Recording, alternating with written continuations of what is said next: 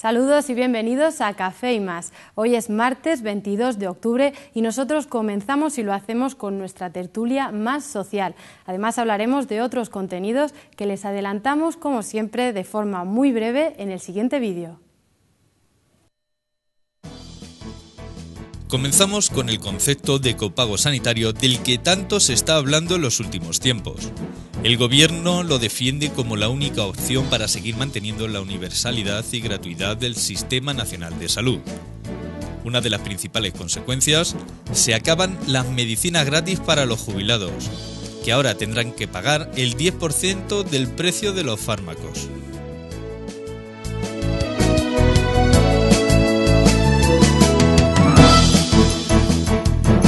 También trataremos el asunto Parot, la noticia saltaba a la primera página de los medios de comunicación ayer. El Tribunal de Derechos Humanos de Estrasburgo ha derogado la doctrina Parot, lo que supone la posibilidad de que más de 60 presos y otros tantos comunes salgan de prisión. El Tribunal de Estrasburgo alega que la doctrina Parot viola varios artículos de la Convención Europea de Derechos Humanos.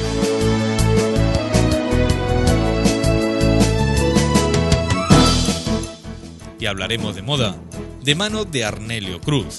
Concretamente hoy nos hablará de los complementos más adecuados y cómo llevarlos en ceremonias. Todo esto hoy en Café y más. Saludos, pues estos son los contenidos que trataremos hoy aquí en directo en Café y más. A ustedes les recuerdo que pueden participar con nosotros comentándonos, haciéndonos preguntas eh, respecto al tema que vamos a tratar en nuestra página de Facebook, esa página de Café y más, escribiendo en nuestro muro. También les recuerdo que pueden participar con el número que aparece en pantalla y ya saben, trasladarnos cualquier tipo de pregunta, estaremos encantados de contestarles. Y nosotros comenzamos, no estoy sola para tratar todos estos temas. Hoy nos acompañan aquí en Café y más Emilio Nieto. Buenas noches, Emilio. Muy buenas noches a todos y encantado de estar con vosotros. Él es decano de la, de la, Facultad de Educación en la Universidad de Castilla-La Mancha. También tenemos hoy con nosotros a Eduardo García. Él es cirujano en el Hospital General de Ciudad Real. Bienvenido, Eduardo. Buenas noches y muchas gracias por la invitación. También contamos esta noche con Ricardo Chamorro. Él es abogado. Bienvenido, Ricardo. Hola, buenas noches, ¿qué tal? Buenas noches más. Pues muy bien, encantado también de estar aquí con vosotros. Y nosotros de que estés aquí con nosotros. Mm.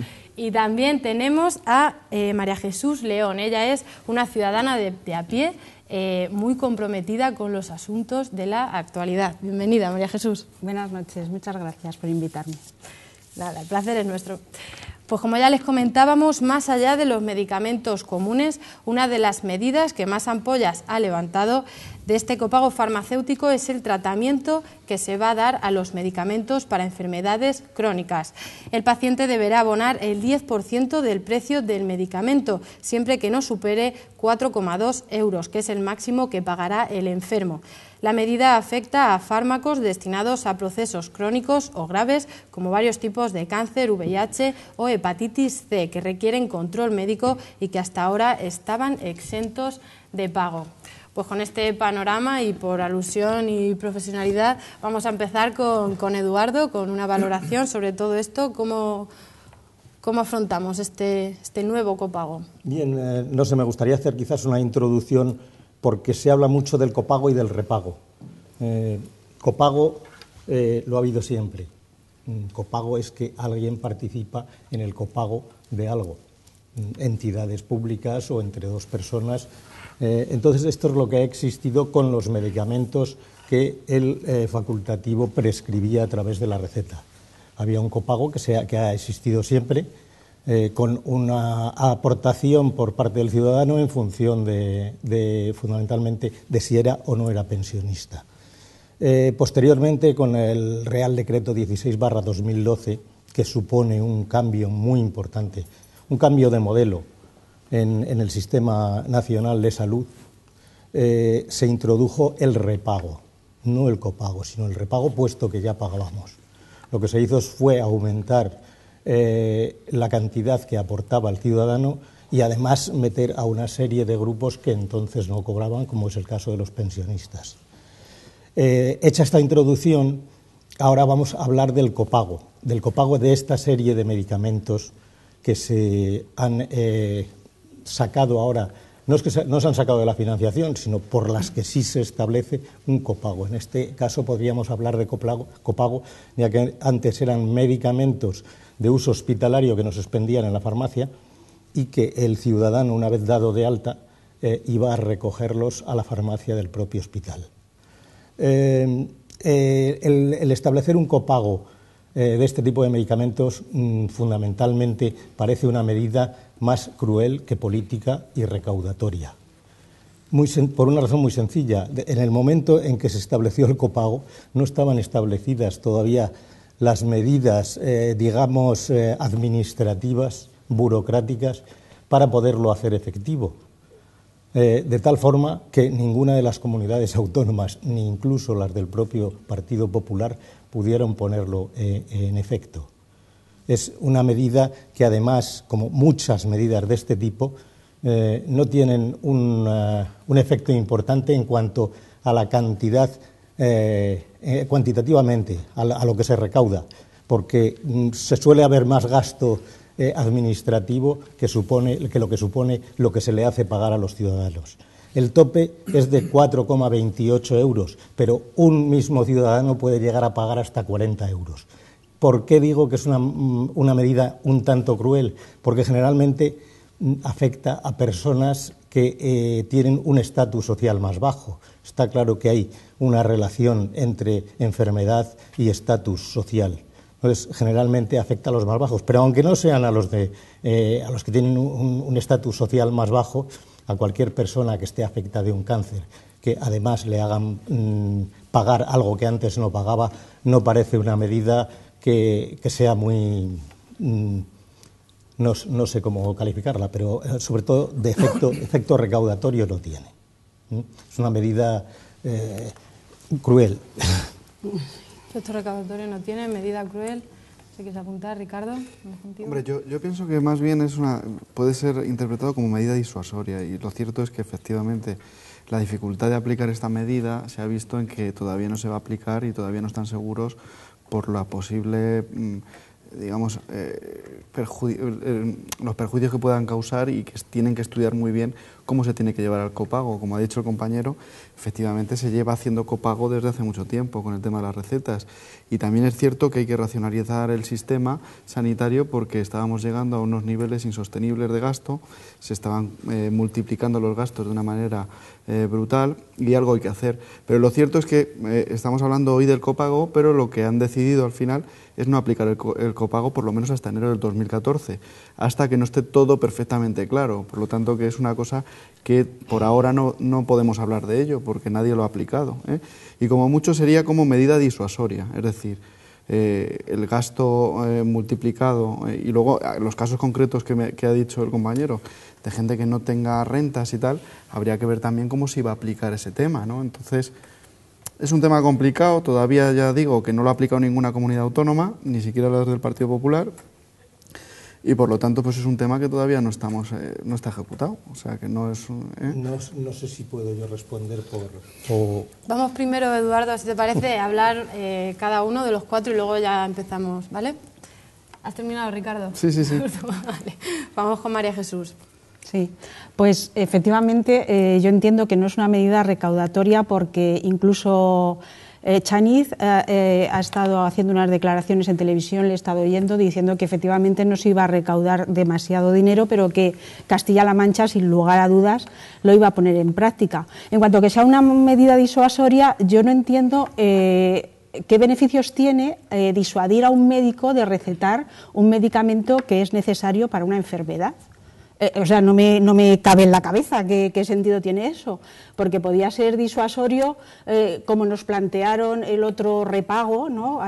lo que se ha venido pagando desde septiembre que cuando ibas al médico porque el médico te recetaba mucho tal, pero en este tipo de enfermedades, un cáncer, un, un SIDA, un, una cosa crónica, el disuadir al médico de recetar lo que él crea que le conviene a ese paciente me parece una medida no disuasoria, o sea, me parece una barbaridad más, más que otra cosa. Y, y, lo que no tengo claro, no sé si alguien me lo puede aclarar, es si los 4,20 euros estos máximos es por medicamento o por el total de los tratamientos, porque si es por medicamento, la cosa va a ir subiendo y sumando y sumando bastante más de los 4 euros con 20. Pues vamos con Emilio y ahora ya por preguntas le damos, Sí. le damos la palabra a Eduardo. Sí, yo estoy de acuerdo con lo que ha dicho Eduardo en un principio. Es decir, yo creo que eh, todo el funcionariado y mucha parte hemos ido pagando el copago durante, yo recuerdo, toda la vida. No es de hoy ni de ayer. El copago se ha pagado. Siempre se ha pagado en farmacia una cantidad que yo no me acuerdo qué tanto por ciento es, pero eso que lo sepa todo el mundo que se ha hecho. Es verdad que había algunas capas sociales, como jubilados, etcétera, que no pagaban, es verdad. Y ha habido abusos. También lo sabemos que ha habido abusos, que familias compraban o compraba el jubilado para toda la familia. Eso también lo sabemos. Vamos a ver, yo creo que eh, aquí no estoy de acuerdo con Eduardo en cuanto que sea una medida cruel, porque yo, yo pienso que todos los gobiernos, sean de la índole que sea, no quieren maltratar al ciudadano. Yo parto de ahí, a lo mejor me confundo, pero mm, por lo menos no neguemos la mayor. Yo creo que los, mm, los partidos políticos, etcétera, en el gobierno mm, no, no tienen esa, ese objetivo de machacar a las capas más bajas, etcétera, ¿no? Si no es una medida recaudatoria, si no lo es, entonces que no se ponga. Eso está claro. No como medida disuasoria, pero si no va a recaudar, si el objetivo no es recaudar, pues yo estoy de acuerdo en este caso que no se ponga esa medida. Por otro lado, pues tenemos que tener en cuenta hoy cómo está la sanidad, cómo está la educación, cómo están algunos sectores o algunos servicios que son obligatorios en España y que diríamos son servicios sociales. ¿Hasta dónde? Yo creo que hay un límite, ¿no? Porque, repito, yo no sé si podemos permitirlo, y seguramente Eduardo lo sabe mejor que nosotros, si podemos permitirlo la sanidad que hemos tenido hasta ahora, no lo sé. Yo sí podría decir que es muy difícil mantener el sistema educativo que hemos tenido hasta ahora. Es muy, muy complicado y si no salimos de esta crisis muy pronto, se hace casi insoportable. Por lo tanto, nadie quiere pagar en este país. Además, se le ha acostumbrado durante muchos años a que nadie pague. Es decir, ir a la piscina era gratis, ir a los servicios municipales era gratis, etcétera, etcétera. Todo era gratis y, y eso no es gratis, cuesta. Todo hay que pagarlo y se paga, pues bien sabe cómo hay que pagarlo. Y por lo tanto, con la contribución, subida de contribución, cada año sube más, eh, los pisos, lo otro, etcétera, etcétera. Y llega un momento que es muy complicado poder, en este caso, si es disuasoria esta medida, mm, no creo. Yo creo que es recaudatoria en los términos que, que este- se establece, de 4 euros al, al- al- al- mes, que no supere. Tampoco es una medida muy grande, es ver- es verdad es una medida, mm, en este caso, si es, co- si es así y es por todos los medicamentos, estoy de acuerdo con lo que dices, si es por todos o por uno, si es por todos me parece, bueno, pues asequible, yo creo, ¿no? Bueno, Eduardo. creo que tengo el reparto para, para el resto de los contertulios. En primer lugar, mm, lo de eh, si esa aplicación de los 4,28 euros es al conjunto de todos los medicamentos, no lo he dicho. Lo he dicho en mi introducción, que eh, podía llegar a- hasta los 40 euros. Cantidad muy importante para familias que sabemos que en este momento hay 3 millones de españoles eh, que están eh, por cobrando menos de 300 euros, eh, 307 euros al mes, cuando hay 12 millones de españoles que están en el umbral de la pobreza. Estos son informes de FOESA y de Cáritas, quiero decir que no son informes sospechosos de una determinada ideología. Eso por una parte. En cuanto a Ricardo, mm, la medida disuasoria, en cualquier caso, cualquier caso no tiene ningún sentido. O sea, es tratar a los ciudadanos o a los, o a los eh, profesionales de tontos. ¿eh? Las medidas disuasorias mm, serán para la policía, para disolver manifestaciones, pero no para disuadir al ciudadano de que tiene que hacer un uso que no lo hace el ciudadano. En todo caso, el que está prescribiendo es el facultativo. El que haría un mal uso ¿eh? sería el facultativo y sería al que habría que penalizar, no al ciudadano. ¿Eh? Esto brevemente. No, luego, lo que- luego, si queréis, No, yo- discutimos yo, más. Yo, lo he hablado de eso porque son los informes que dicen. No es exactamente que es una medida disuasoria porque a nivel recaudatorio no hay. Pero que ha habido un descontrol en el ámbito sanitario es una cosa que dicen todos los informes y todos los expertos. Incluso los médicos de familia, en informes que han sacado, también están a favor del, del copago precisamente para que haya un control porque eh, ha habido un gasto absolutamente brutal y un descontrol por parte de determinados servicios que al final lo que hacen es cargarse el servicio público y el servicio al ciudadano, porque claro, cuando tú haces que los servicios sanitarios sean insostenibles, pues al final lo que haces es que empiezan este tipo de cosas, de copagos, de recortes, etcétera. ¿Pero por qué? Pues porque a lo mejor no se han llevado a cabo bien los controles, incluso por el propio personal sanitario. Entonces, yo no quiero echar la culpa a nadie, lo que quiero decir es que es, está clarísimo y objetivo que nuestro sistema sanitario, eh, desde que se hicieron, las, se hicieron la delegación de competencias a las comunidades autónomas, se ha multiplicado por cuatro el gasto sanitario. Entonces, algo habrá que hacer. Entonces, esto es una medida que se hace, que se lleva a cabo en otros países de Europa. En lo que me refiero a disuasorio, no me refiero en que le diga, oye, no, no, sino que haya un control, porque precisamente como supone un gasto, pues habrá un control por parte de tanto quien quiere que le receten como, como el facultativo, etcétera. ¿no? Pero un control, en ese tipo de enfermedades de las que estamos hablando, porque estamos hablando del, copago farmacéutico hospitalario, no del, del de farmacia, ¿no? Pero hospitalario te refieres a las personas que estén ingresadas que le hagan pagar el, copago. No, me refiero o sea, de lo que estamos hablando. Estamos hablando de los El copago es como cuando te dan una receta que haces un copago. No, Me, estoy refiriendo a los medicamentos que se están recetando en enfermedades muy graves como el cáncer, como en SIDA, como, eh, como hepatitis, que se dispensan en las farmacias de los hospitales que no se dispensa, que no te da el médico una receta y te vas a la farmacia de al lado de tu calle. Este es el último, la última ocurrencia de la señora Mato en cuanto a copagos y repagos. Entonces yo estoy entendiendo que estamos hablando de esto. ¿Se ha aplicado eso ya o no? Eso no se ha aplicado porque... se ha aplicado porque por incompetencia Claro, porque no tenían forma administrativa de llevar eso a cabo. Lo, había eh, dictado la señora Mato, el Ministerio de Sanidad, y sin embargo las, comunidades autónomas, incluso las del propio partido del gobierno, no han podido aplicarlo porque no estaba la infraestructura adecuada. Pero insistiendo en lo, de, en lo que decías antes, eh, creo que es un insulto a los profesionales y a la ciudadanía el decir que hay que, eh, hay, hay, que poner unos límites, unos topes, hay, que poner unos topes mm, a la ciencia. El, médico tiene que estar bien preparado y tiene que saber lo que prescribe. ¿eh? Si, estamos, si no estamos poniendo en duda la profesionalidad, ¿eh? de, esto. En cuanto a, no, yo no pongo en cuanto a la, profesionalidad de ningún per, Permíteme que hable porque eh, antes me has interrumpido y yo no te he interrumpido. Vamos a ver. Eh, en cuanto a los copagos, repagos, en cuanto a la duda de si el sistema es sostenible. Vamos a ver, el sistema sanitario español es el que tiene una menor inversión sobre el PIB de, los, de la Europa de los 15 y de alguno de los 27. Por lo tanto, el sistema sanitario español es sostenible. Tenemos un sistema sanitario de los mejores de Europa.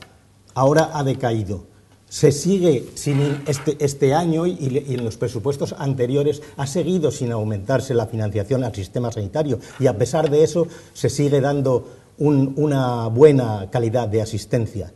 Entonces, no, argumentemos porque eh, en cuanto al copago, decía Ricardo, el copago está demostrado Está demostrado, decía, eh, eh, eh, se, ha visto en diferentes informes. Yo te presento los informes que quieras. En Portugal, país vecino, de que el, copago no solo ha disminuido el gasto, sino que lo ha aumentado.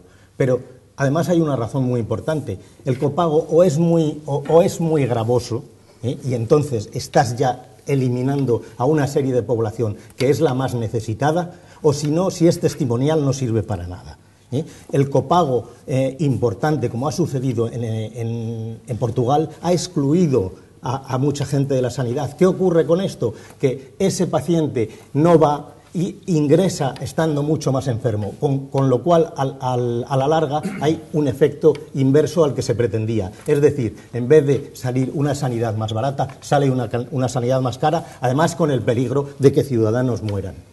Entonces, el sistema sanitario español es perfectamente sostenible y no hay que hacer ningún tipo de ajuste, ningún tipo de control. Sí, sí, sí, hay que hacer un ajuste importante, recaudatorio. Resulta que lo que no se recauda ¿eh? de los impuestos de sociedades es lo mismo que equivaldría a el gasto sanitario. es decir, que eh, eh, los tiros tienen que ir por otro lado. Ajustes, claro, por supuesto.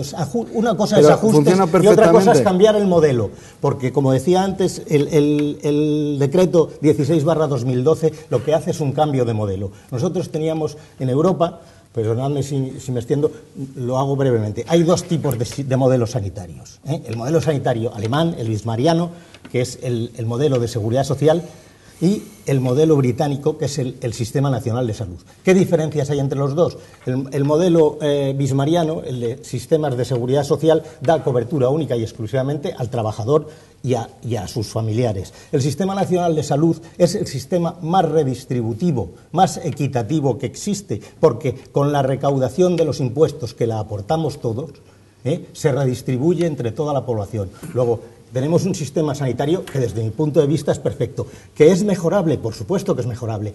Mejorable, habrá que hacer una gestión pero no la gestión que se está proponiendo, gestión público-privada o colaboración público-privada. La gestión es buena o es la gestión es buena o es mala. Pero eso ya se hacía aquí, en, por lo menos en Ciudad Real. Yo he visto gestiones privadas desde hace mucho tiempo. Sí, Me acuerdo de la clínica Coreisa, sí, que lleva aquí cuánto tiempo, 15 años. Si lo que digo es que no es cuestión de gestión privada o público-privada. La gestión es buena o es mala. Ah, no es buena o es mala porque pertenezca a un sector o al otro. Ah, ya, ya. Ah, vale, vale. Pues quiero decir que cambios, claro que se pueden hacer cambios, muchos cambios, pero sin modificar el modelo. El modelo es Pero, por ejemplo, eh, eh, el tema de la delegación de las competencias en sanidad a las comunidades autónomas ha ido a mejorar el sistema o ha ido a multiplicar los gastos y a una descoordinación a nivel nacional para que una persona, por ejemplo, que quiera que le asistan, por ejemplo, en Castellón y es de Castilla-La Mancha, no tenga problemas a nivel de coordinación y a lo mejor hubiera sido mejor mantenerlo por parte del Estado y tener un control más distributivo y dar mejores servicios. Porque si se ha multiplicado por el doble o por el triple el tema del gasto sanitario, mm, por algo será, ¿no?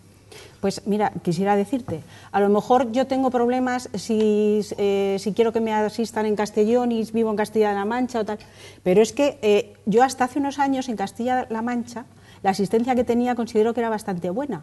Y ahora la que me dan aquí, donde vivo, sin tener necesidad de irme a Castellón, ha empeorado bastante. ¿Ah, sí? Sí. Entonces, con todos... O sea, que las eh, la delegación de... Eh, me dice que es mala, la delegación de competencias no, no, no, no, no, no, Estoy es decir, ha aumentado el gasto y encima es peor no, la, no, he dicho, no estoy diciendo eso. Estoy diciendo que desde que se están haciendo estas reformas en la sanidad pública, estas reformas no, porque mm, reformar es una cosa y, quitar dinero simplemente con, con afán de ahorrar para meterlo en otros sectores, eh, eh, pues no es una reforma, eso es un recortazo como un demonio, ¿no? Entonces, desde que están ocurriendo estas cosas, eh, yo tengo, en, cuando voy al hospital, peor atención que tenía antes. O sea, que a lo mejor me preocupa menos que no me puedan asistir en Castellón a que cuando vaya aquí al hospital y me tengan que prescribir una ecografía, por ejemplo, ¿no?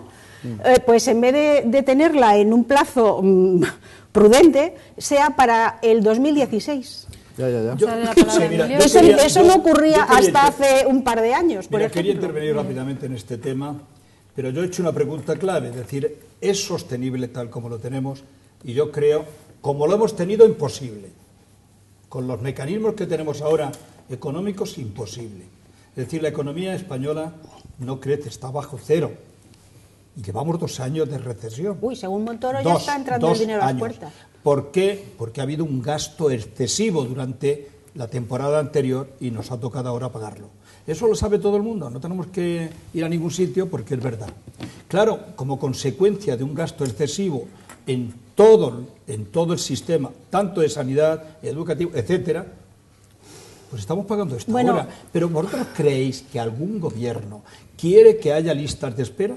No. Yo no Perdona que te interrumpa, Emilio, María Jesús. Eh, seguimos hablando de todo esto en un momento. Perdón, Emilio.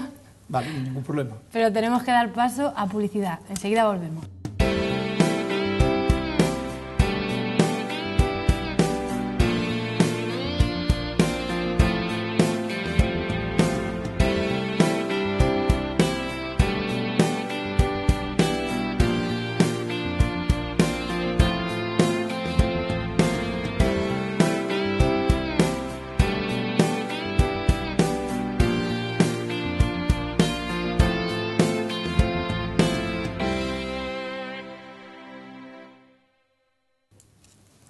Saludos a los espectadores que se incorporen ahora con nosotros aquí a Café y Más. Les recuerdo que pueden participar con nosotros escribiéndonos en el muro de la página de Facebook Café y Más. Ya saben, cualquier pregunta, comentario, reflexión que quieran trasladarnos a esta mesa. Y también pueden hacerlo llamando al teléfono que aparece en pantalla. Estaremos encantados de contestarle a sus preguntas.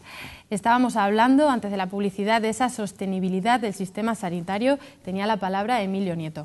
Sí, estábamos hablando de ese sistema, es decir, es sostenible el sistema con los, eh, diríamos, como, con el andamiaje que tenía antes, es sostenible o no, y a mí está la pregunta mayor. Y yo hacía una reflexión en altavoz para que todo el mundo lo entienda.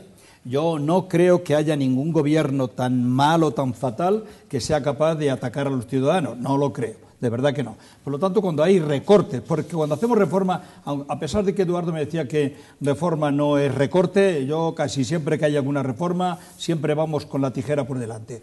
Y yo creo que cuando se reforma o se recorta, eh, los sistemas es porque evidentemente no hay dinero económico. Otra cosa, otra cosa puede ser los modelos que estamos hablando.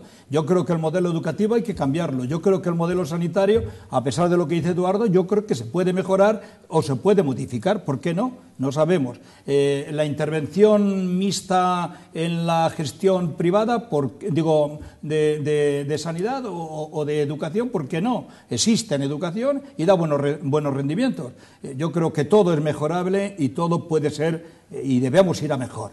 Estamos pasando un bache, yo creo que la sociedad tiene que saberlo, estamos pasando un bache económico, yo no voy a justificar al gobierno, por supuesto, pero estamos pasando un bache económico y todos, absolutamente todos, como hacen los alemanes, tenemos que apoyar para que esto eh, salgamos y vuelva otra vez la bonanza en los sistemas que tenemos. Eduardo, María Jesús. Eh, yo, bueno, vuelvo a insistir en la sostenibilidad del sistema eh, con datos muy concretos. Podríamos, eh, eh, se podrían plantear los Estados Unidos cambiar de modelo sanitario, ya que teniendo, gastando un 16% sobre el PIB, resulta que tienen 47 millones de población subprotegida. Todos sabemos que en Estados Unidos, si no llevas la visa y, y, te la muerden al entrar en el hospital, te puedes morir en la calle. Si aspiramos a ese modelo de sanidad, muy bien, pero en, Estados Unidos podían plantearse el hacer reformas y reformas serias. No es el caso de España, que invierte la mitad del PIB, da cobertura sanitaria a toda la población, con unos niveles de calidad reconocidos mundialmente. Eh, tiene la Organización Nacional de Trasplantes más importante del mundo. Vienen aquí a propósito de la gestión, es una gestión pública ¿eh? y vienen a, copiar el modelo de gestión pública de, la Sociedad Nacional eh, de, Trasplantes. Eh, tenemos respuesta rápida en cualquier catástrofe. es decir, que tenemos un sistema sanitario a mitad de precio del estadounidense y dando una cobertura universal. ¿Hay que plantearse un cambio de modelo? No, habrá que plantearse, en todo caso, un cambio de financiación. Hay otra serie de cuestiones. la sanidad no solo genera gasto. En cualquier ciudad de provincia, la industria mayor que hay, la que más trabajadores aporta a la ciudad, pongamos ejemplo Ciudad Real, es el hospital.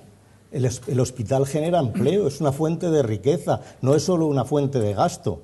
Es otra cosa muy importante a tener en cuenta. Y además eh, tenemos que tener en cuenta otra cosa que siempre mm, se, dice mal, y es que gasto, gasto, gasto y gratuidad. No, no, no, no, no, señor. El sistema mm, sanitario no es gratuito. Lo pagamos todos los ciudadanos a través de los impuestos. No sé si quieres apuntar algo más, Ricardo. Mm, bueno, yo creo que, que, sí, efectivamente, sí que se ha multiplicado el gasto, sobre todo a partir del año, me parece que es cuando se hace la delegación de competencias a las comunidades autónomas, a partir del 99 se multiplica por tres. Yo estoy de acuerdo con una eh, sanidad gratuita, un sistema nacional de salud, como decía Eduardo, y precisamente por eso yo creo que hay que ser eficiente y hay que hacer las reformas suficientes para que funcione mejor. Y a lo mejor se podría volver a recentralizar ese sistema sanitario eh, controlar perfectamente para que los servicios públicos sanitarios funcionen perfectamente, ¿eh? haya muchísimo más control en la gestión Y hay un control también del gasto, por supuesto. Es decir, no se puede dejar al libre albedrío porque precisamente como son fondos públicos de los ciudadanos en los que pagan la sanidad, pues tiene que haber un control muchísimo mayor todavía. ¿no? Entonces yo creo que sí hay que hacer reformas y hay que estudiar bien el asunto porque yo no estoy eh, de acuerdo con Eduardo en que ahora mismo eh, sea tan sostenible porque el cambio de gasto que ha habido precisamente con la delegación de competencias sanitarias a las comunidades autónomas ha sido brutal y, ese caso, y ahí hay que estudiar bien por qué se ha multiplicado el gasto y por qué no funciona y por qué antes nos daban también una asistencia sanitaria que estaba muy bien, se tiene que ir eh, evolucionando a mejor todavía, ¿eh? pero yo creo que se puede racionalizar y se puede hacer más eficiente, está clarísimo. ¿eh? Y el sistema sanitario yo no creo que sea perfecto ahora mismo precisamente por los datos de gasto que hemos visto y, tal. Yo, yo le puedo, si no, puedo contestarte en cuanto a lo de las comunidades autónomas. Eh, aquí entraríamos en otro debate, si, si autonomías, si autonomías no. Pero bien, en concreto eh, en relación al hecho sanitario. no, autonomías no, no. Eh, delegación de competencias sanitarias sí o no, porque las autonomías no tienen nada que ver. Es decir, tú puede haber una serie de competencias que sean útiles para el ciudadano, que estén delegadas y estén cerca del ciudadano en las comunidades autónomas o incluso en las administraciones locales, y hay otras que a lo mejor para que sean más eficientes y garanticen los derechos de los ciudadanos, a lo mejor tienen que ser recentralizadas. Precisamente el derecho a la sanidad que es un derecho de todos los ciudadanos españoles, eh, un sistema nacional de salud, ¿eh? somos una nación de ciudadanos libres e iguales que pagamos todos impuestos precisamente, a lo mejor sería más eficiente si se llevara desde el punto de vista estatal, a nivel nacional. Yo, eh, más bien, tendríamos que tener en cuenta el tema del criterio de la eficiencia. Es decir, esta, esta competencia es, es más eficiente, garantiza más los derechos de los ciudadanos si se delega bien si no la garantiza y es más perjudicial, no simplemente hay que delegar todo. Eso es lo que yo digo, ¿no? Entonces. Sí, ¿eh? pero de todas formas, Ricardo, mm, vamos a ver, eso estaba contemplado en la ley. Eh, hay, un, eh, hay, un, hay un consejo interterritorial que es el que debe velar porque la sanidad sea igual para todos los españoles en cualquier parte del, territorio del Estado. Otra cosa es que funcione o no funcione. Bien, bien, bien, bien, igual. Pero, pero, eso está contemplado, quiero decir, eso existe. Hay un consejo interterritorial que es el que debe coordinar todo esto. ¿Y los sanitarios cobran lo mismo en, el País Vasco que, en, Ciudad Real? En cuanto, pero en, fíjate, en las transferencias me voy a limitar a lo que conozco más y que conoces tú y que conocemos los que vivimos aquí, a las transferencias sanitarias. Dice, ha aumentado el gasto. Tú eres más joven. Yo llegué aquí hace 28 años. Mm, te puedo hablar de que en el eh, hospital, antiguo hospital de Alarcos, eh, allí no había aquello. Yo cuando llegué eh, aquí dije, bueno, esto no es un hospital, es un centro de salud. Las cosas no había especialidades médicas. Efectivamente. No había en, en, otorrino éramos tres otorrinos, ahora somos trece. Había dos oftalmólogos, había ahora hay siete u ocho. Había, quiero decir, Pero eso podía haber evolucionado sin hacer la delegación. Ha crecido porque Castilla-La Mancha Ah, tendrás que reconocer que tenía un déficit tremendo. Pero bueno, claro, que se ha aumentado el gasto. Hemos recuperado lo que no teníamos. Vamos a, dar la palabra a Emilio y a María Jesús y, cambiamos de tema. María, Jesús, primero. María Jesús. Mira, yo mm, aquí en esta mesa, sobre todo, quiero hablar como usuaria de todos esos servicios que estamos hablando.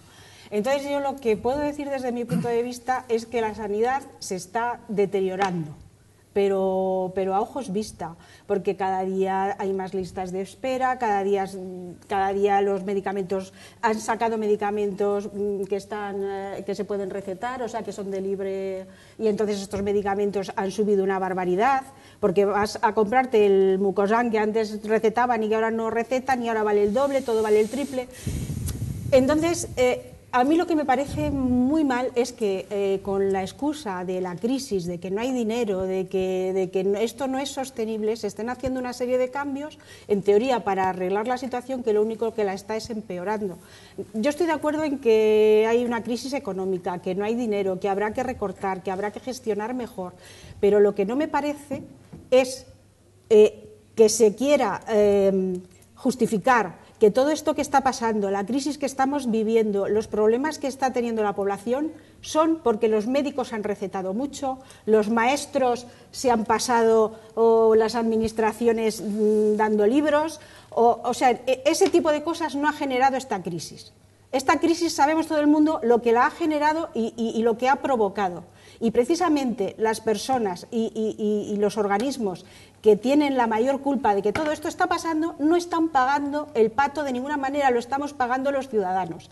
Y este gobierno que, que ganó las elecciones diciendo que había una serie de líneas rojas que no se podían traspasar y que por eso mucha gente les votó, Resulta que eso es lo primero que ha traspasado, la línea roja de la educación, la línea roja de la sanidad, la línea roja de muchos derechos que se han conseguido durante muchos años con la lucha de mucha gente. Y ahora nos quieren hacer creer que eso era gratuito, que eso mm, es una cosa que nos daban así alegremente. Eso ni era gratuito porque pagábamos todos, ni era una cosa que no nos merecíamos y era un regalo que nos daban. y, quien ha tenido culpa de todo esto y quien debería de estar pagando todo esto pues el, vamos, el número de ricos en España ha crecido un 13%. A lo mejor el gobierno espera estirar la crisis lo suficiente como para que nos dé tiempo a todos a hacernos ricos. Porque si esto sigue así, si ahora hay un 13% más, lo mismo dentro de tres años hay un 20% y nos toca a alguno de nosotros con un poco de suerte. Solchaga decía que este país era el donde uno se podía hacer rico más rápido. Mira, yo, María Jesús, perdona. Mira, yo creo que España estuvo dos años en el limbo, 2008-2010, como mínimo, en el limbo Aquí todo funcionaba estupendamente, había dinero para todo. Nadie nos dijo que estábamos mal, nadie. Pero mira a Grecia, mira a Italia, mira a Portugal, mira a todos los pueblos mediterráneos lo que, lo que, hay que, mirar es lo que han hecho con Grecia más bien no, que, no, no, no, lo que hay que mirar es lo que, lo que han hecho la, la aquí estuvimos, con estuvimos al borde de, del colapso, es decir, del rescate. Y nos hubiera pasado lo mismo que a Grecia y lo mismo que a Portugal, exactamente igual si hubiéramos seguido caminando por una senda que era imposible, totalmente imposible. ¿Por qué? Eh, sigue creciendo la deuda. Estamos casi al 100% de la deuda. Exactamente. Claro, y pues podemos seguir gastando más. Una familia que gasta más que ingresa, pues ya sabe lo que ocurre. Y en España esto es lo que está pasando y lo que ha pasado durante muchos años. Es decir, si tú, tú gastas más que ingresas, pues sabes lo que te ocurre. Y repito, es un problema evidentemente de quien ha gobernado posiblemente, y de los que están gobernando. Pero tenemos, yo la pregunta era clave, es decir, ¿tenemos suficiente dinero para tener los servicios que teníamos con igualdad que teníamos y con las mismas calidades que teníamos. Pues y yo la pregunta y yo la contestación me la hago. No, no lo tenemos. Somos el 25% más pobres, la inmensa mayoría de los ciudadanos, el 25% más pobres. Hay que pensar si es verdad que, que obramos como el 25% más pobres. Mira los pisos, el valor de 70 millones o 40 han quedado reducidos al 10. Es decir, somos más pobres que antes. Como no asumamos esto, lo tenemos claro. Por lo tanto, es verdad que crece el 13% de ricos y, el 13% de pobres, no, cuidado. Más, de pobres ¿eh? más. Y el 13% de pobres como mínimo. Pero repito, Nos va pues, a dar más tiempo apliquemos, a ricos. apliquemos a los que tienen más para que paguen más. Y yo no sé si se puede eso aplicar más. Yo decía una, una idea el otro día, que hay un sueldo mínimo de los españoles, un sueldo mínimo, puesto por el gobierno. Oiga usted, ¿Ah, se estudia un sueldo máximo. Emilio, nos quedamos con, esta. Eh, como ven, el debate eh, queda abierto y es bastante extenso, pero la actualidad manda y tenemos que hablar de otro de los asuntos, también un asunto delicado. Se trata de esa doctrina Parot. Aunque la sentencia no es vinculante, según fuentes de la Audiencia Nacional, España debería aplicarla porque firmó el Convenio de Derechos Humanos. España ya ha aceptado cumplir la sentencia porque esta tarde ha puesto en libertad a la etarra Inés del Río, que ha abandonado la prisión gallega de Tseiro. Según la doctrina Parot, debería haber permanecido en prisión hasta el año 2017. A mí me gustaría trasladar toda esta información a nuestra mesa de café y más para que eh, nos diesen pues, una valoración sobre esta decisión del Tribunal de Derechos Humanos de Estrasburgo y sobre todo cuál debería ser la respuesta de la justicia española. Comenzamos con Ricardo y espero que nos dé tiempo a hablar los cuatro, ¿vale? Porque vamos un poquito justo de tiempo. Ricardo. Bueno, la, la reacción de la justicia española ya ha sido, se ha reunido la Audiencia Nacional y han sacado a Inés del Río, que es una etarra que ha matado a 24 personas, no sé cuál era la pena, si eran, no sé, 3.000 años o no sé. 3.800. 3.800 años, una barbaridad. Entonces, eh, a mí me parece pues, una vergüenza, ¿no? Es decir, no me gusta para nada y sobre todo además este Tribunal de Estrasburgo también ha sacado otra serie de sentencias previamente, por ejemplo, sacó la de Ruiz Mateos, la que se obligaba a España a volver a repetir su, el juicio de Ruiz Mateos y no se ejecutó. También salió, una sentencia, por ejemplo, con el, juez Gómez de Liaño, ¿eh? en el cual pues, se le obligaban también a que restituyeran a este juez en su puesto y tampoco se aplicó. Y resulta que esta ha sido absolutamente rápida, es decir, ha habido una rapidez enorme en sacar a esta, a esta asesina a la calle. Y por lo tanto, pues yo creo que ahora mismo lo que hay que hacer es estar cerca de las víctimas del terrorismo, que bastante están aguantando con la negociación previa de Zapatero y luego encima un magistrado como López Guerra, que ha estado allí en el Tribunal de Estrasburgo y lo que ha hecho es apoyar las teorías para que esta doctrina Parot, que es una doctrina del Tribunal Supremo que fue ratificada luego por el Tribunal Constitucional y está dentro de la soberanía nacional que tenemos los españoles para poder administrar justicia, ¿eh? o sea, eh, se, han cumplido digamos todas las instancias aquí a nivel nacional y resulta pues el Tribunal este de Estrasburgo pues ha dicho que no que hay una hay una retroactividad digamos a la hora de aplicar esta estas eh, esta sentencia, esta doctrina, que lo que decía simplemente es que si esta gente estaba eh, condenada a 3.000 años, pues eh, las reducciones de condena se tenían que aplicar pues, a los 3.000 años, para que cumplieran por lo menos lo mínimo establecido en el Código eh, Penal de 73, que eran 30 años, por lo menos para que estuvieran 30 años como mínimo. Y luego aquí hay una responsabilidad política clarísima por parte de, los gobiernos que han estado en España porque no han cambiado la ley. Entonces han tenido que ser los jueces los que hayan hecho interpretaciones jurídicas para que se cumplan íntegramente las condenas y para que cumplan el máximo de los 30 años. Entonces, eh, esto pues es una vergüenza realmente para cualquier persona que tenga sensibilidad con lo que han hecho. Es decir, primero un código penal que teníamos del 73, el franquismo, que no estaba preparado para asumir, digamos, los, las barbaridades que ha hecho la banda terrorista ETA. Luego tuvieron que hacer las interpretaciones los magistrados para intentar que cumplieran las penas, pero lo que tenían que haber hecho es cambiarle el código penal antes, no hasta el 95. ¿eh? Entonces, ahora que vayan a salir violadores, que vayan a salir terroristas, precisamente por esto, pues a mí me parece vergonzoso. Entonces yo animo a la ciudadanía, si nos están viendo, por ejemplo, este sábado va a haber en Villamayor de Calatrava una, un homenaje a las víctimas del terrorismo y el domingo también la VT ha convocado una manifestación en Colón, en Madrid, a las doce y media, para apoyarles y, lo único que hacen es pedir justicia, porque es una vergüenza esto que, que está pasando aquí en España. Eduardo. Bueno, yo aquí evidentemente no puedo hablar como experto, ya ha hablado Ricardo, yo hablo como ciudadano con el inmenso dolor eh, que siente uno en un tema tan espinoso como es este, por las víctimas, por los familiares de las víctimas. Y luego remitirme al hecho de que mm, técnicamente el, experto aquí en la mesa es Ricardo, pero bueno, si se ha hecho, eh, creo que hay que acatar eh, vivimos, vivimos no, no ya digo en una democracia, si vivimos en sociedad tenemos que acatar normas. Esta norma hay a muchas personas, como ha manifestado Ricardo, mm, que, eh, mantienen una repulsa ante esta determinación, pero yo en este sentido y sigo insistiendo con el dolor que supone para las víctimas y para todos los ciudadanos. ¿eh? Creo que, bueno, que hay que aceptar lo que un tribunal haya determinado. Mm, eh, técnicamente se, puede, se podrá discutir, tal, pero, pero esto, esto, es así. Quiero decir, ese es eh, los pros y los contras de, vivir en sociedad. Me limito Emilio, a, ¿creen Que, que, se ha hecho bien cumpliendo esta sentencia a pesar de que no es vinculante? Yo primero querría introducir un poquitín el tema muy rápido porque quiero que hablen los demás. Creo que los dos gobiernos que han gobernado España durante estos años, lo ha apuntado eh, bien mi compañero anterior, creo que lo han hecho fatal. Unos peor que otros. No podemos ir a Europa con leyes del 95 sin reformar. No se puede.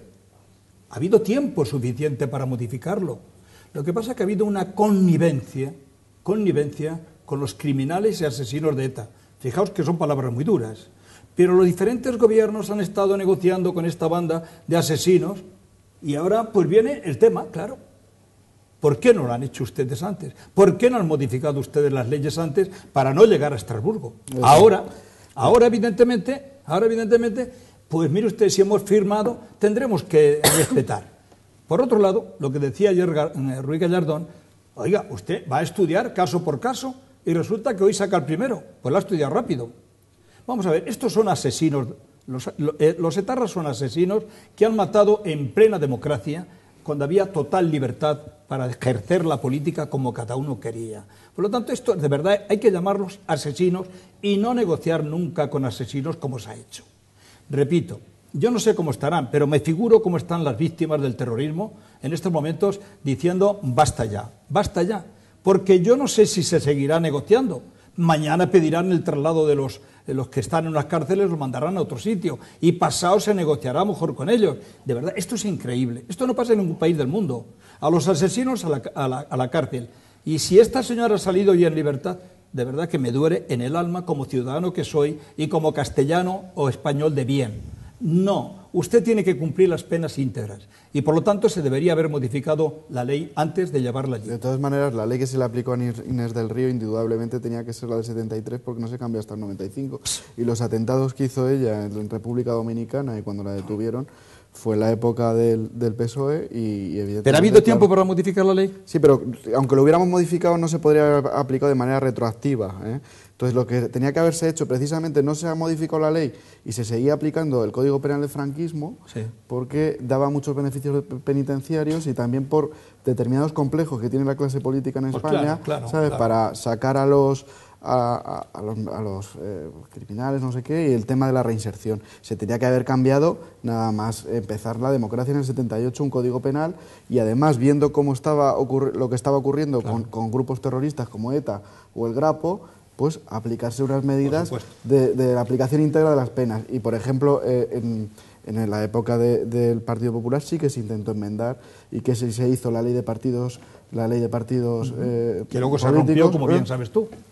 Y, y luego pues hemos tenido lo que hemos tenido el- en el gobierno anterior, que es Amayur eh, ha, sali- están- ha salido fuera, eh, Bildu está gobernando en San Sebastián, o sea, una auténtica vergüenza. ¿eh? Lo que- Vamos a dar la, la palabra a María Jesús porque tenemos ya Sí, poco Sobre tiempo. este tema, mm, pues bueno, es una etarra, es una asesina. Creo que mató a 24 personas. Ha pasado 26 años en la cárcel. Tenía que cumplir 30, pero por cuestiones de redención de pena mm, ha cumplido, y al aplicársele la, la doctrina Parot, ha cumplido, no sé si son 5 o 6 más de los que le correspondían. Entonces eso es muy triste, es una pena. Sobre las víctimas he oído versiones para todos los gustos, gente que está más de acuerdo y gente que está menos de acuerdo. Pero desde luego técnicamente lo que parece ser, o he creído entender, es que eh, la, doctrina Parot ni ninguna ley penal que perjudique a la persona a la que se le está aplicando, eh, pues eh, sobre lo que se le aplicó en su día, ¿no? Pues no, puede tener carácter retroactivo. Entonces a esta señora, la, la- la doctrina Parot es del 2006, creo, ¿no?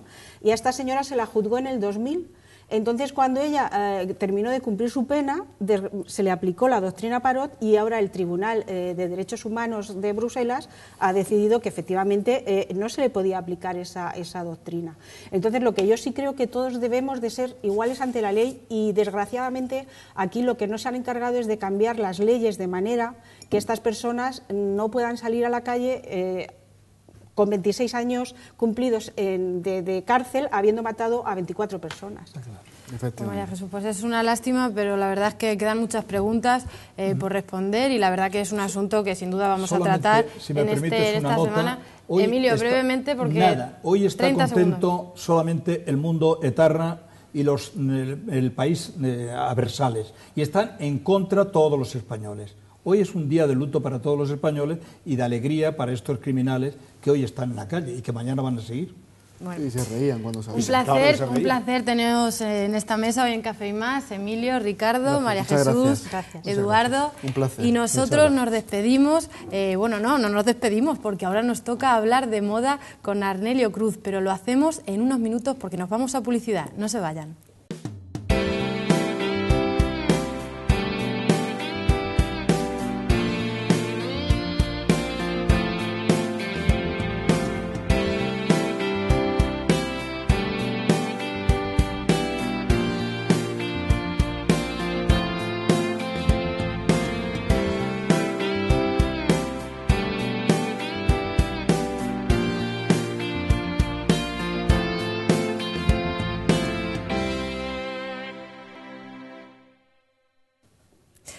Pues tras este corte publicitario nos relajamos un poquito y es que hablamos como todos los martes de moda y lo hacemos con Arnelio Cruz.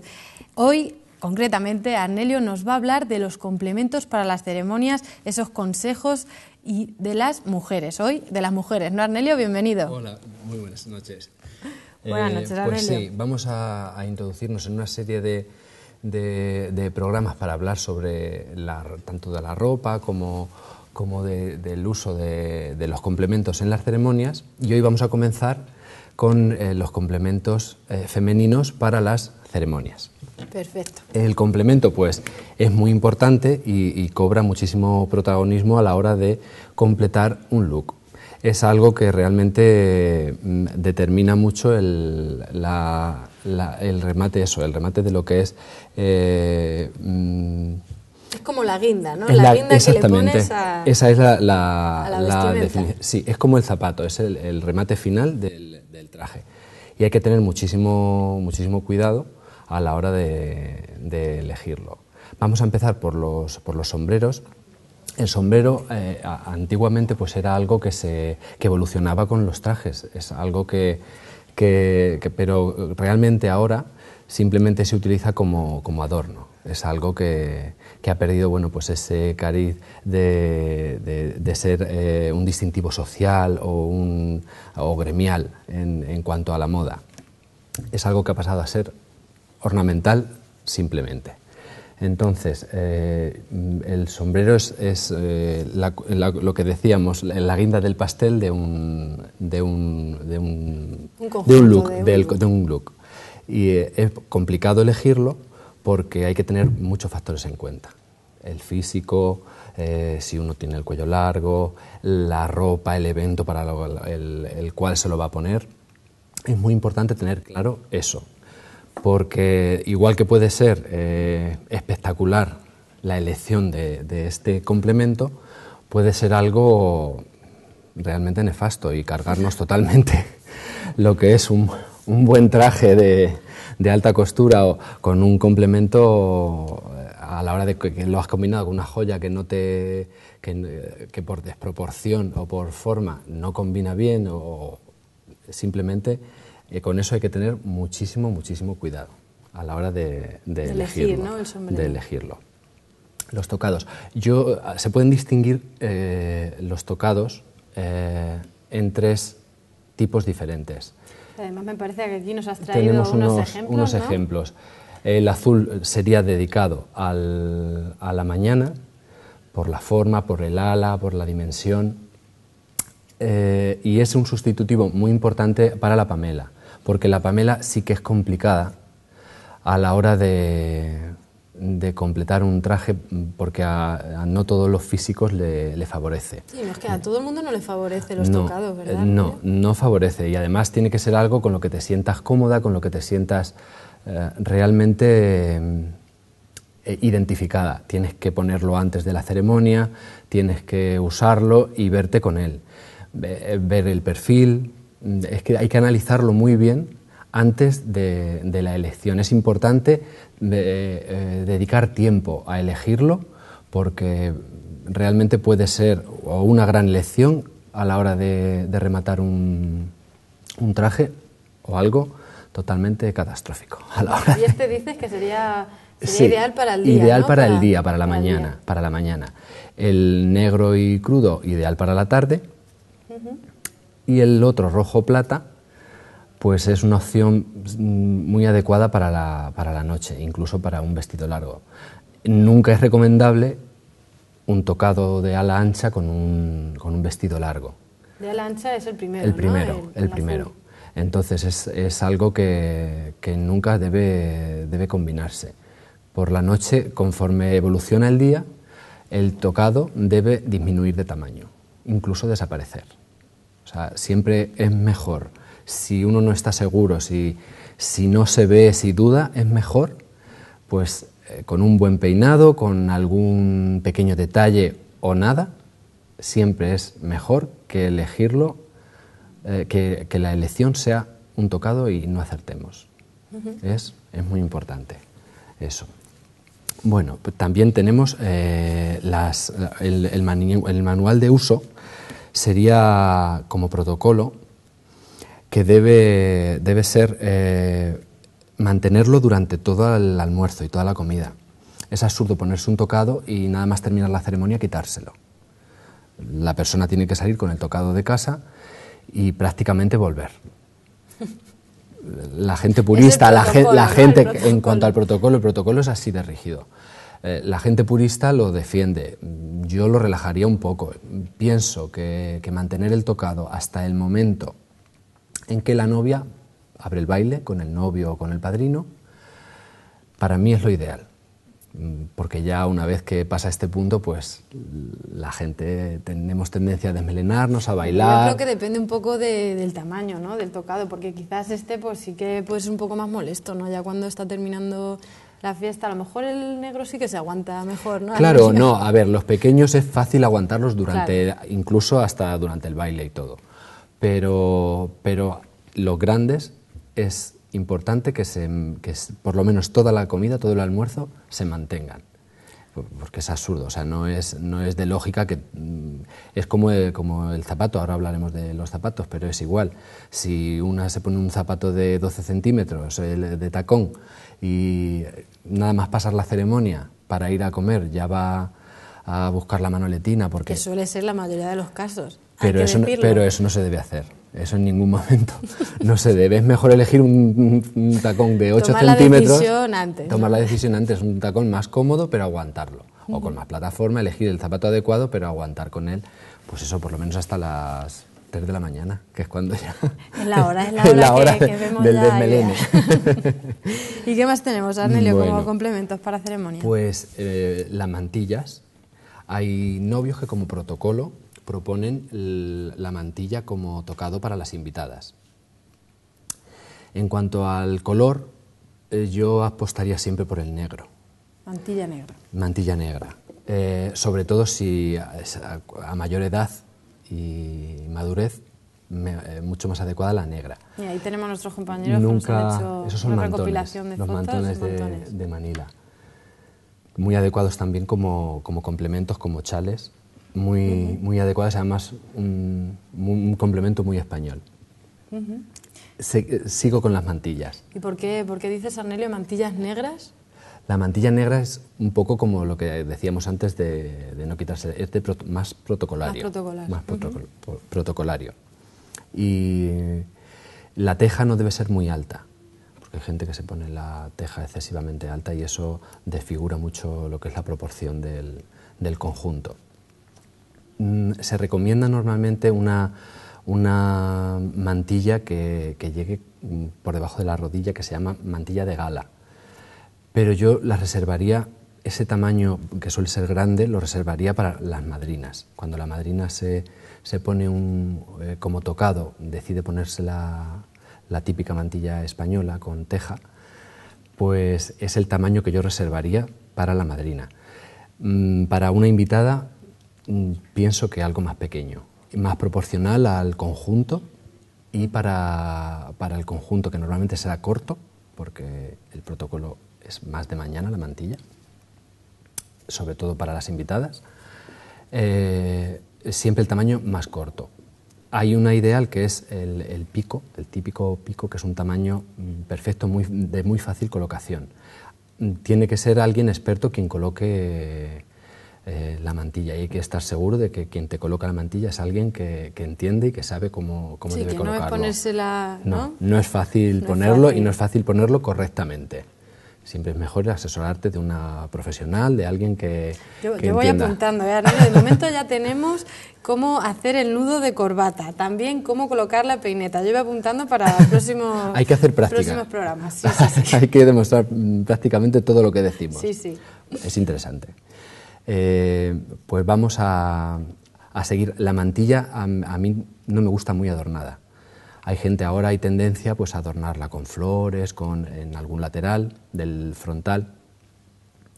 se puede acertar o se puede realmente crear un look un poco cargante. Y mira que a mí me gusta lo barroco y yo no soy sencillo, mi estilo no, precisamente no es sencillo, pero vamos, eh, el exceso tampoco no es bueno y por supuesto en los complementos, que son los que complementan todo el, todo el look. Eh, después de la mantilla, la joya.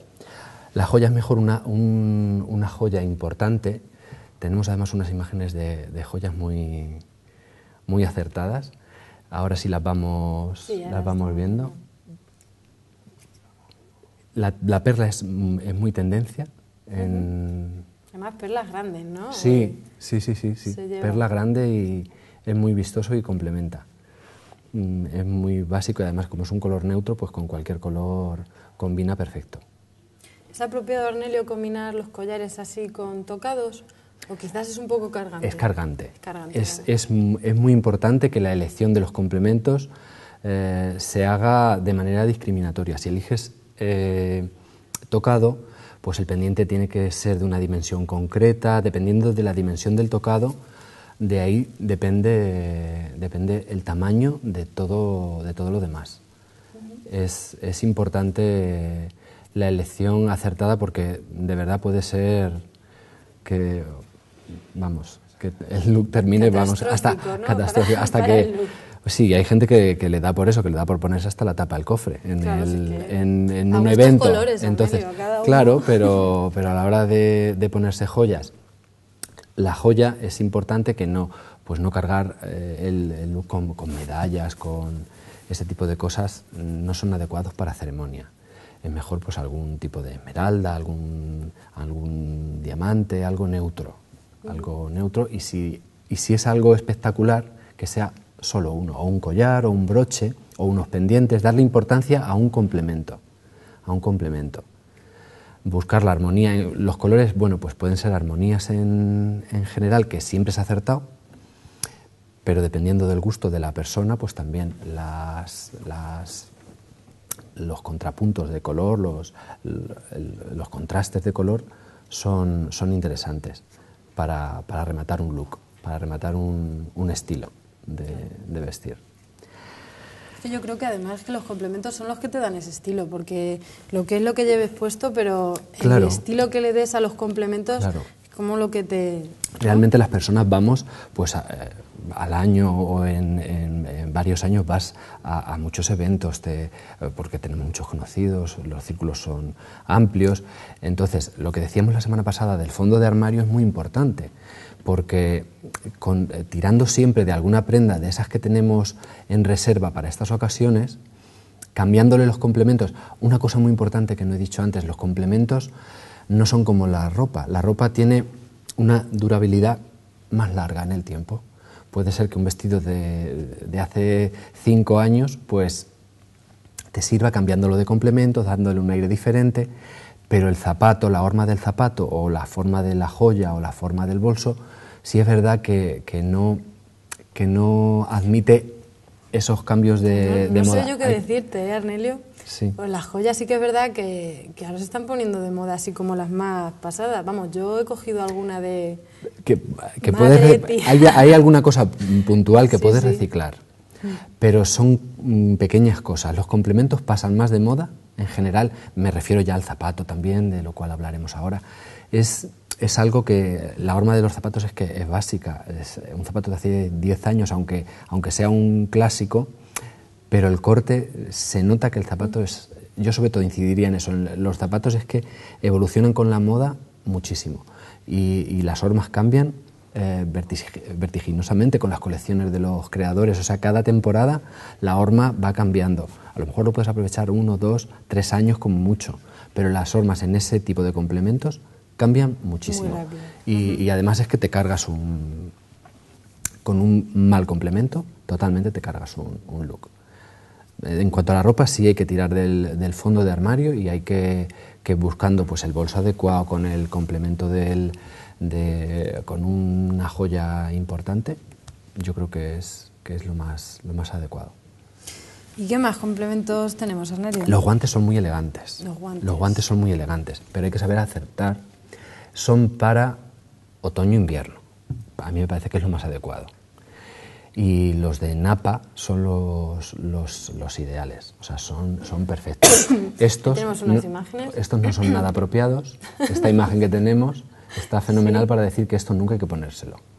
Apuntados, esto, ¿eh? esto no, no, es nada acertado, lo que es este guante. hay que ¿Por qué no es acertado, Arnelio? Mm, es que claro, no vamos a poner porque solo está, cosas... Porque está, no, claro, claro, claro, claro, no. Eh, si lo hemos puesto por eso. Simplemente para decir que esto no hay que ponerlo.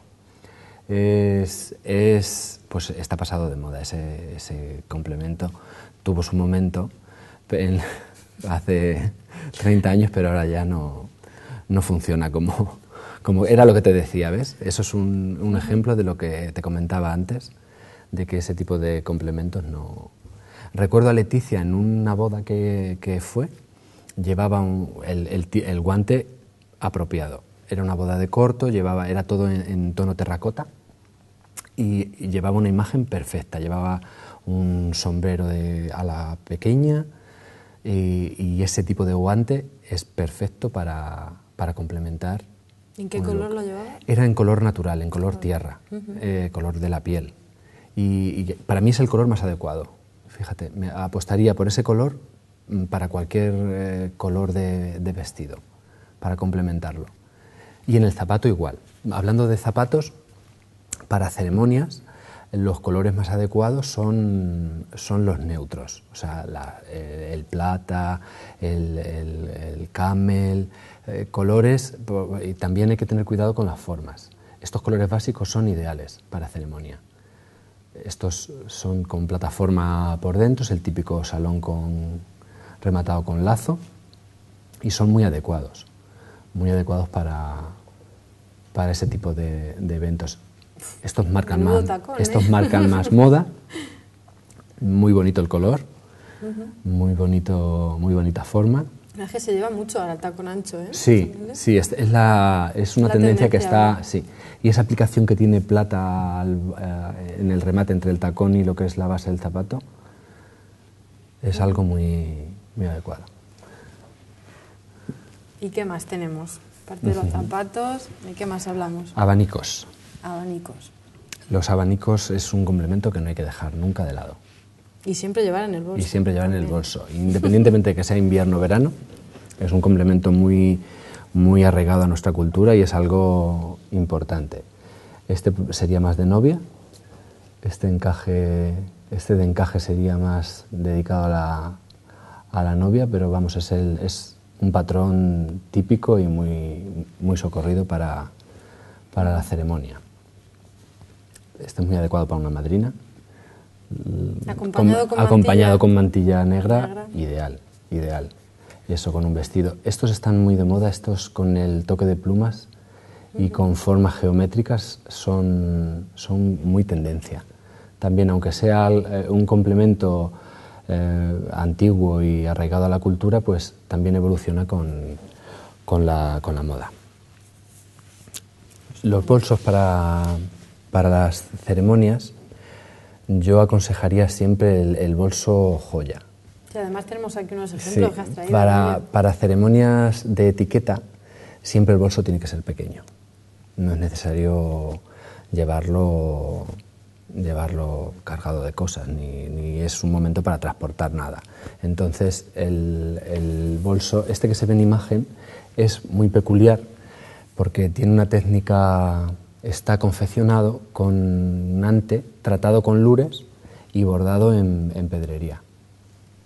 Es un, un bolso de nueva tendencia y muy adecuado para, para este tipo de, de, eventos. Luego tenemos el típico bolso joya eh, rosa de bordado de perlas completamente. A mí me parece ideal para una, para una madrina. Ese bolso complementa, además, en el color que lo hemos traído, en el, color, en el color nude y plata, es muy, muy adecuado para una, para complementar el look de una madrina.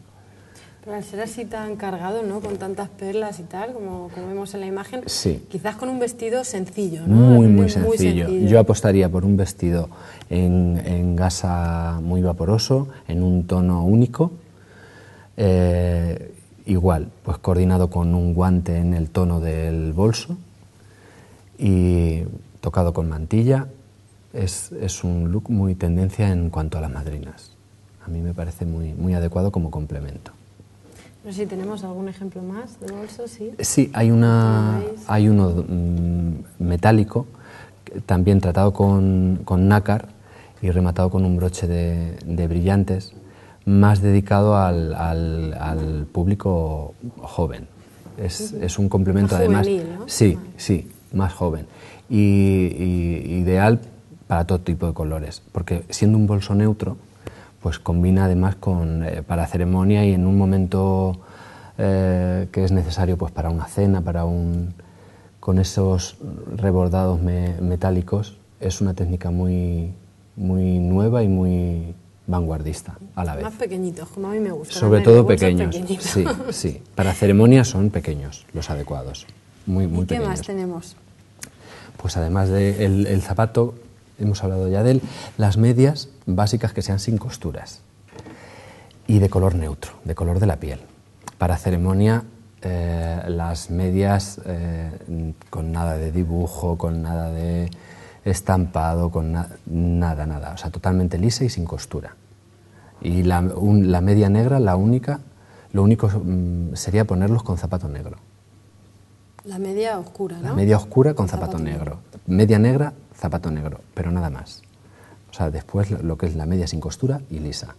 Para ceremonia, para otro tipo de look. Tú sabes, es un sábado y hay medias de encaje de miles de formas y hay que aprovechar pues todas las tendencias y todo lo que encontramos en, en, en los comercios y, y todo lo que los creadores nos proponen, hay que aprovecharlo. Que Exactamente. Pues muchísimas gracias, Arnelio, por proponernos tú todo esto y de aconsejarnos. Espero que, que, vosotras hayáis tomado notas y tenéis una ceremonia pronto. Yo la verdad que he cogido bastantes ideas. Muchísimas gracias, Arnelio, por gracias acompañarnos. Un placer, como siempre, todos los martes. Y nosotros nos vamos despidiendo porque ya no tenemos tiempo para más. Es una lástima. Eh, sin más, eh, bueno, les recuerdo primero que pueden ver eh, los servicios, seguir informados en los servicios informativos con nuestros compañeros Kiko Fernández y Beatriz García. Nosotros nos despedimos, pero mañana más aquí en Café y más, a las 9 de la noche. Hasta mañana.